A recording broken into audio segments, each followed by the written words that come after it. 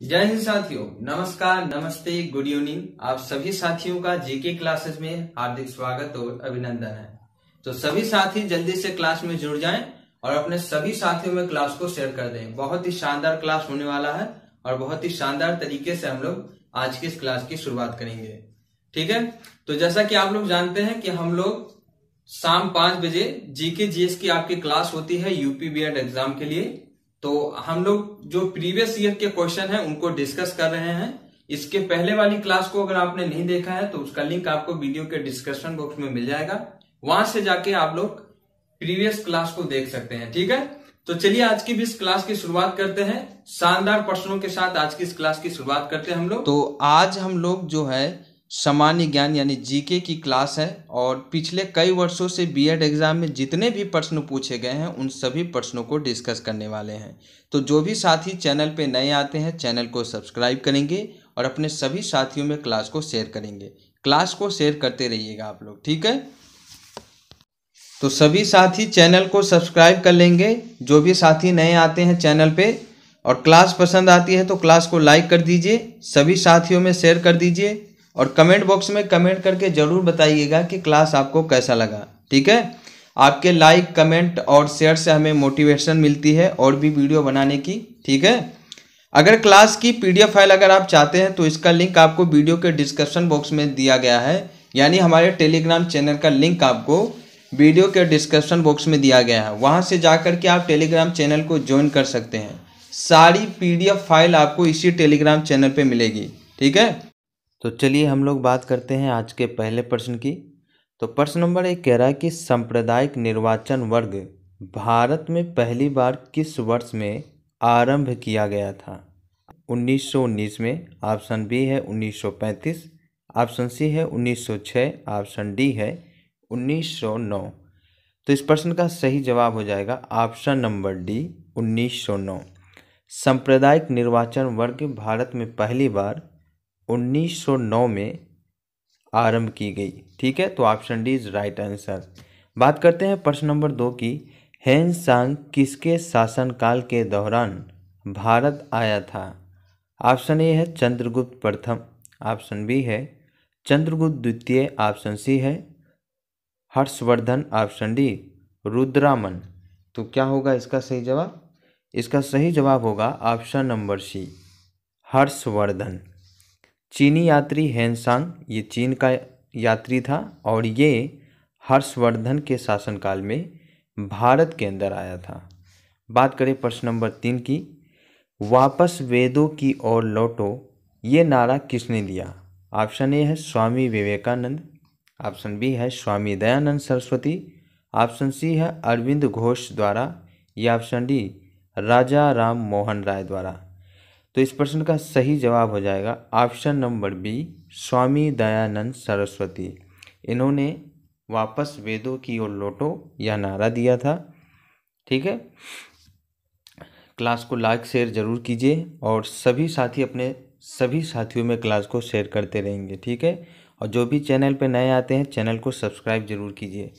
बात करें प्रश्न नंबर चार की किसी निश्चित समयावधि में किसी देश में उत्पादित वस्तुओं और सेवाओं के कुल मूल्य को क्या कहते हैं? ऑप्शन ए कहता है कि प्रायोज्य आय कहते हैं, या ऑप्शन बी राष्ट्रीय आय, या ऑप्शन सी प्रति व्यक्ति आय, या ऑप्शन डी निवल राष्ट्रीय आय। तो इस प्रश्न का सही जवाब हो जाएगा ऑप्शन नंबर डी, निवल राष्ट्रीय आय। किसी निश्चित समय अवधि में किसी देश में उत्पादित वस्तुओं और सेवाओं के कुल मूल्य को निवल राष्ट्रीय आय कहा जाता है। चलिए बात करते हैं प्रश्न नंबर पाँच की। तो प्रश्न नंबर पाँच कह रहा है कि किसी अर्थव्यवस्था में निम्न में से कौन सा ऐसा कार्य है जो केंद्रीय बैंकों के कार्यों में शामिल नहीं है? ऑप्शन ए है विदेशी मुद्रा विनिमय का कार्य। ऑप्शन बी मौद्रिक नीति पर नियंत्रण। ऑप्शन सी सरकारी खर्च पर नियंत्रण। ऑप्शन डी बैंकर के बैंक के रूप में कार्य। तो इसका सही जवाब हो जाएगा ऑप्शन नंबर सी, सरकारी खर्च पर नियंत्रण। किसी अर्थव्यवस्था में सरकारी खर्च पर नियंत्रण एक ऐसा कार्य है जो केंद्रीय बैंकों के कार्यों में शामिल नहीं है, ठीक है? बाकी विदेशी मुद्रा विनिमय का कार्य ये केंद्रीय बैंक का कार्य है, सरकारी मौद्रिक नीति पर नियंत्रण ये भी केंद्रीय बैंक का कार्य है, लेकिन सरकारी खर्च पर नियंत्रण जो है, ये केंद्रीय बैंक का कार्य नहीं है। बैंकर के बैंक के रूप में कार्य ये भी आप कह सकते हैं कि केंद्रीय बैंक का कार्य है। चलिए बात करते हैं वर्ष नंबर सिक्स की। उस तकनीकी को क्या कहते हैं जो एक कृत्रिम दुनिया के सृजन की क्षमता प्रदान करती है और उसमें लोग परस्पर अंत क्रिया भी करने लगते हैं? ऑप्शन ए कहता है कि दूरस्थ वास्तविकता, ऑप्शन बी आभासी वास्तविकता, ऑप्शन सी वैकल्पिक वास्तविकता, ऑप्शन डी थ्री वास्तविकता। तो इस प्रश्न का सही जवाब हो जाएगा ऑप्शन नंबर बी आभासी वास्तविकता।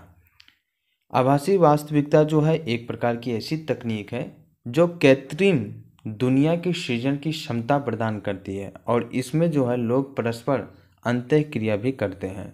तो option B is right answer. बात करें प्रश्न नंबर सात की। भूरी क्रांति किसे कहते हैं? ऑप्शन ए है चारा उद्योग का विकास, ऑप्शन बी समुद्री उत्पादों का विकास, ऑप्शन सी दुग्ध अयुग्ध उत्पादों का विकास, ऑप्शन डी भारत में खाद्य प्रसंस्करण एवं शीतल पेयों के उद्योगों का विकास। तो इस प्रश्न का सही जवाब होगा ऑप्शन नंबर डी। भारत में खाद्य प्रसंस्करण एवं शीतल पेयों के उद्योगों का विकास के लिए भूरी क्रांति की शुरुआत की गई थी। इस क्रांति के अंतर्गत उर्वक उत्पादन और गैर परंपरागत ईंधन के उत्पादन के क्षेत्र में प्रगति को भूरी क्रांति के रूप में जाना जाता है। ठीक है? तो भूरी क्रांति किसे कहते हैं? भूरी क्रांति जो है, भारत में खाद्य प्रसंस्करण शीतल पेयों के उद्योगों के विकास के लिए क्रांति की शुरुआत की गई थी। बात करते हैं प्रश्न नंबर आठ की। भारतीय कृषि का किसी महत्वपूर्ण स्तर तक यांत्रिकरण किस कारण से संभव नहीं है? ऑप्शन ए है छोटे जोत क्षेत्र, ऑप्शन बी ट्रैक्टरों की भूमि, ऑप्शन सी लोगों की उदासीनता, ऑप्शन डी किसानों की गरीबी। तो इसका सही जवाब हो जाएगा ऑप्शन नंबर ए, छोटे जोत क्षेत्र के कारण। हमारे देश में क्या है कि कई किसान ऐसे हैं जिनके पास में खेत जो है, उनका जो क्षेत्र है बहुत छोटा है, यानी वो बहुत कम खेतों के जोतार हैं, है ना? अगर अधिक संख्या में खेतों के जोतार होंगे तो हमारी भारतीय जो कृषि है, उसका महत्वपूर्ण स्तर होगा। लेकिन छोटे जोत क्षेत्र के कारण हमारी भारतीय कृषि का जो स्तर है, वो यांत्रिकरण है है ना? आप कह सकते हैं कि हमारे छोटे जोत क्षेत्र के कारण इनका जो यांत्रिकरण है, वो संभव नहीं है, ठीक है? तो option A is right answer होगा। चलिए बात करते हैं प्रश्न नंबर नाइन की। हीलियम से भरा गुब्बारा वायु में उड़ने लगता है क्योंकि ऑप्शन ए कहता है कि वायु से गुब्बारे को ऊपर उठाने का बल मिलता है। ऑप्शन बी कहता है कि गुब्बारा जो होता है, वो भारहीन हो जाता है। ऑप्शन सी है, हीलियम का घनत्व वायु से कम होता है। या ऑप्शन डी हीलियम गुब्बारे के नीचे से वायु को हटा देता है। तो इसका सही जवाब हो जाएगा ऑप्शन नंबर सी हीलियम से भरा गुब्बारा वायु में उड़ने लगता है क्योंकि हीलियम का जो घनत्व होता है, वो वायु से कम होता है, ठीक है? अब जब हीलियम का घनत्व वायु से कम होगा तो वो तो उड़ेगा ही, है ना? तो option number C is right answer बात करते हैं प्रश्न नंबर दस की, समुद्र समीर बनती है। ऑप्शन ए कहता है कि दिन के समय ऑप्शन बी रात के समय ऑप्शन सी दोनों समय ऑप्शन डी मौसमी। तो सही जवाब हो जाएगा ऑप्शन नंबर ए दिन के समय। समुद्र समीर जो है वो दिन के समय बनती है। बात करें प्रश्न नंबर ग्यारह की, कोई व्यक्ति सूक्ष्मदर्शी और दूरदर्शी यंत्रों में अंतर क्या देखकर जान सकता है? मान लीजिए किसी व्यक्ति को सूक्ष्मदर्शी और दूरदर्शी यंत्रों में अंतर पता करना है तो वो कैसे पता कर सकता है? तो ऑप्शन ए है लंबाई को देखकर ऑप्शन बी रंग को देखकर, या ऑप्शन सी लेंस का आकार देखकर, या ऑप्शन डी लेंस की लंबाई और आकार देखकर। तो इसका सही जवाब हो जाएगा ऑप्शन नंबर डी लेंस की लंबाई और आकार को देखकर कोई भी व्यक्ति सूक्ष्मदर्शी और दूरदर्शी यंत्रों में फ़र्क यानी अंतर का पता कर सकता है। चलिए बात करते हैं प्रश्न नंबर बारह की। कुचिपुड़ी नृत्य नाटक किस राज्य से संबंधित है? ऑप्शन ए है Assam, option B Andhra Pradesh, option C Orissa, option D Manipur. सही जवाब हो जाएगा option number B Andhra Pradesh. तो साथियों, ये सभी प्रश्न जो है आपके, ये बीएड यूपी बीएड एग्ज़ाम 2012 में पूछे गए प्रश्न हैं और ये सभी प्रश्न बहुत ही महत्वपूर्ण प्रश्न हैं। तो हम लोग जो हैं, वो प्रीवियस ईयर के जो क्वेश्चन हैं, उनको डिस्कस कर रहे हैं। इससे आपको पता लग जाएगा कि आपके बीएड एग्ज़ाम में क्वेश्चन का जो स्तर होता है, यानी किस टाइप के क्वेश्चन आपके बीएड एग्ज़ाम में पूछे जा सकते हैं, ठीक है? तो काफ़ी महत्वपूर्ण क्लास है तो क्लास को लाइक शेयर ज़रूर कीजिए और ज़्यादा से ज़्यादा संख्या में जुड़ने का प्रयास कीजिए। चलिए बात करते हैं प्रश्न नंबर तेरह की एक्स किरणों की खोज किसने की? ऑप्शन ए है फेराडे ऑप्शन बी है रॉइंट जेन ऑप्शन सी है H D B option D है लेवोजियर तो इसका सही जवाब हो जाएगा option number B, Roentgen. Roentgen ने एक्स किरणों की खोज की थी। चलिए बात करें प्रश्न नंबर फोर्टीन की। निम्न से कौन सा भारत के पूर्वी तट का एक मुख्य बंदरगाह पतन है? ऑप्शन ए है Kandla, option B Visakhapatnam option C Karaikal, option D Pondicherry यानी पुदुचेरी। तो इस प्रश्न का सही जवाब होगा ऑप्शन नंबर डी, पौंडीचेरी यानी पुदुचेरी। ये भारत के पूर्वी तट का एक मुख्य बंदरगाह है। बात करें प्रश्न नंबर फिफ्टीन की, शहद की मक्खी का विष कैसा होता है? ऑप्शन ए है अम्लीय, ऑप्शन बी क्षारीय, ऑप्शन सी नमकीन, ऑप्शन डी प्रोटीन। तो क्या होगा इसका सही जवाब? Option number A is right answer. शहद की मक्खी का जो विष होता है, वो अम्लीय प्रकृति का होता है, ठीक है? अम्लीय और क्षारीय प्रकृति के बारे में आप जानते होंगे। इसके बारे में पता करने के लिए एक स्केल होती है, जिसका नाम होता है पीएच स्केल। अगर पीएच स्केल पर सात से नीचे है तो वो आपका अम्लीय होगा, और अगर सात से ऊपर है तो वो आपका क्षारीय होगा, और अगर सात है तो वो आपका उदासीन होगा। ठीक है? इस प्रकार से हम लोग अम्लीय और क्षणीय प्रकृति के बारे में पीएच स्केल से पता करते हैं। चलिए बात करते हैं प्रश्न नंबर सिक्सटीन की। संचार नेटवर्क, जिसका प्रयोग बड़ी संस्थाओं द्वारा प्रादेशिक, राष्ट्रीय और वैश्विक क्षेत्र में किया जाता है, कहलाता है। ऑप्शन ए है एल ए एन यानी local area network W A N C M A N option D V A N तो इसका सही जवाब होगा option number B W A N wide area network. संचार नेटवर्क जिसका प्रयोग बड़ी संस्थाओं द्वारा पारदेशिक राष्ट्रीय और वैश्विक क्षेत्र में किया जाता है, वो कहलाता है wide area network. Wide area network कहलाता है, जिसके माध्यम से संस्थाओं बड़ी बड़ी जो संस्थाएँ होती हैं, जो पारदेशिक राष्ट्रीय और वैश्विक क्षेत्र में कार्य करती है, वो सभी संचार नेटवर्क का प्रयोग करती है, जो है। चलिए बात करते हैं प्रश्न नंबर सेवनटीन की।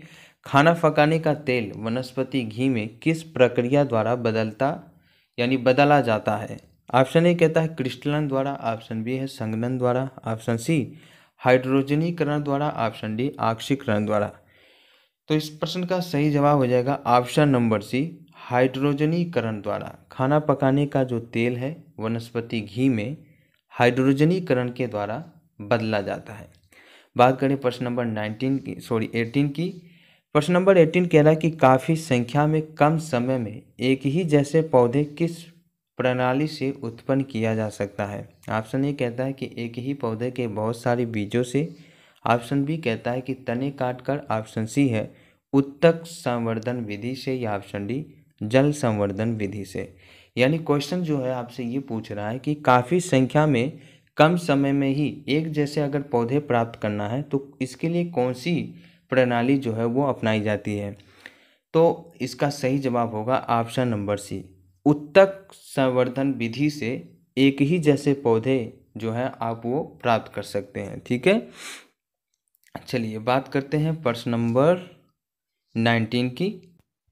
तो प्रश्न नंबर नाइनटीन कह रहा है कि यदि कोई दंड चुंबक दो बराबर हिस्सों में काट दिया जाए तो प्रत्येक टुकड़े की ध्रुवीय शक्ति पर क्या प्रभाव पड़ेगा? ऑप्शन ए कहता है कि दुगनी हो जाएगी। ऑप्शन बी आधी हो जाएगी। ऑप्शन सी शून्य हो जाएगी या ऑप्शन डी यथावत रहेगी। तो इसका सही जवाब हो जाएगा ऑप्शन नंबर डी यथावत रहेगी। देखिए, प्रश्न कह रहा है कि यदि कोई दंड चुंबक दो बराबर हिस्सों में काट दिया जाए, मान लीजिए ये कोई चुंबक है, ठीक है? और चुंबक में आप लोग जानते हैं इसकी उत्तरी ध्रुव और दक्षिणी ध्रुव होता है। ठीक? अगर इस चुंबक को काट देंगे हम लोग, बीच में से मान लीजिए इसके टुकड़े कर दिए तो क्या ये चुंबक का गुण प्रदर्शित नहीं करेगा? भाई, ये तब भी चुंबक का गुण ही प्रदर्शित करेगा। यानी अगर इसको आप काट देंगे तो इसके जो टुकड़े बनेंगे, उसके भी उत्तरी ध्रुव और साउथ, यानी दक्षिणी ध्रुव दोनों होगी, है ना? और इसकी भी होगी उत्तरी ध्रुव और दक्षिणी ध्रुव। दोनों चुंबक के होंगे, है ना? तो ये चुंबक का गुण प्रदर्शित करेगा, इसकी ध्रुवीय शक्ति पर कोई प्रभाव नहीं पड़ेगा, है ना? वो यथावत ऐसे के ऐसे बना रहेगा। तो option number D is right answer होगा, ठीक है? चलिए बात करते हैं प्रश्न नंबर बीस की। चमगादड़ की ध्वनि कैसी होती है? ऑप्शन ए कहता है श्रव्य ऑप्शन बी है अध्वनिक ऑप्शन सी है अवश्रवरु ऑप्शन डी है प्राश्रव्य। तो इसका सही जवाब हो जाएगा ऑप्शन नंबर डी, प्राश्रव्य। चमगादड़ की जो ध्वनि होती है, वो प्राश्रव्य ध्वनि होती है। ठीक है? चलिए बात करें प्रश्न नंबर 21 की। ऑल इंडिया मुस्लिम लीग की स्थापना किसने की थी? Option A, Maulana Ahmad Ali. Option B, Mohammad Ali Jinnah. Option C, Aga Khan. Option D, Hakim Ajmal Khan. तो सही जवाब होगा option number C, Aga Khan. Aga Khan ने ऑल इंडिया मुस्लिम लीग की स्थापना की थी।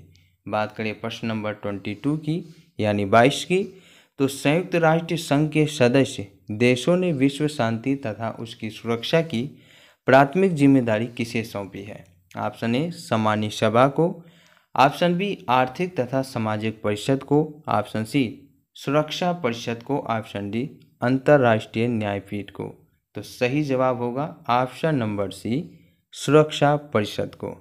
सभी साथी क्लास को लाइक, शेयर ज़रूर कीजिए और अपने सभी साथियों में क्लास को शेयर कीजिए। ये सभी प्रश्न आपके परीक्षाओं के दृष्टिकोण से काफ़ी महत्वपूर्ण है, ठीक है? तो चलिए बात करते हैं प्रश्न नंबर तेईस की। प्रश्न नंबर तेईस कहता है कि भारत ने अंतर्राष्ट्रीय सुनामी चेतावनी प्रणाली को कब अपनाया था? ऑप्शन ए है 2004 में, ऑप्शन बी 2005 में, ऑप्शन सी 2006 में या ऑप्शन डी 2007 में। सही जवाब होगा ऑप्शन नंबर बी 2005 में। तो अगर आपको क्वेश्चन पूछा जाए कि भारत ने अंतर्राष्ट्रीय सुनामी चेतावनी प्रणाली को कब अपनाया था तो 2005 में अपनाया था, ठीक है? चलिए बात करें प्रश्न नंबर ट्वेंटी फोर यानी चौबीस की। वायुमंडल की सबसे नीचे की परत है ऑप्शन नंबर ए, समताप मंडल, ऑप्शन नंबर बी, बाह्य मंडल, ऑप्शन नंबर सी शोभ मंडल, ऑप्शन डी, माध्य मंडल। सही जवाब होगा ऑप्शन नंबर सी शोभ मंडल। वायुमंडल की सबसे नीचे की जो परत है, वो आपका शोभ मंडल है। बात करें प्रश्न नंबर पच्चीस की यानी ट्वेंटी फाइव की तो 2012 ओलंपिक खेलों में निम्नलिखित में से किस देश का प्रथम स्थान था? ऑप्शन नंबर ए, चीन, option number B, France, option C, संयुक्त राज्य अमेरिका, ऑप्शन डी, ऑस्ट्रेलिया। सही जवाब होगा साथियों, ऑप्शन नंबर सी, संयुक्त राज्य अमेरिका। 2012 में जो ओलंपिक खेल हुआ था, उसमें संयुक्त राज्य अमेरिका जो है, वो प्रथम स्थान पर थी, ठीक है? तो साथियों, आज के इस क्लास में हम लोगों ने यूपी बी प्रीवियस ईयर के क्वेश्चन को डिस्कस किया। जो कि आपके जीके जीएस से संबंधित हैं। तो इन सभी प्रश्नों को आप लोग रिवाइज कीजिए और इनको शुरू से लेकर अंत तक पूरी क्लास को देखिए और सभी प्रश्नों को आप लोग अच्छे तरीके से तैयार कीजिए। क्योंकि ये प्रीवियस ईयर क्वेश्चन है तो रिपीट भी हो सकते हैं, बहुत ही शानदार प्रश्न है और बहुत ही महत्वपूर्ण प्रश्न है, ठीक है? तो साथियों, आज की यह क्लास आपको कैसा लगा? कमेंट बॉक्स में कमेंट करके ज़रूर बताइए। क्लास अगर आपको पसंद आई हो तो क्लास को लाइक कीजिए, अपने सभी साथियों में शेयर कीजिए और सबसे ज़रूरी बात, चैनल को सब्सक्राइब कीजिए। तो चलिए मिलते हैं फिर अगले क्लास में। तब तक के लिए आपका बहुत बहुत धन्यवाद। Thank you thank you very much जय हिंद, जय भारत।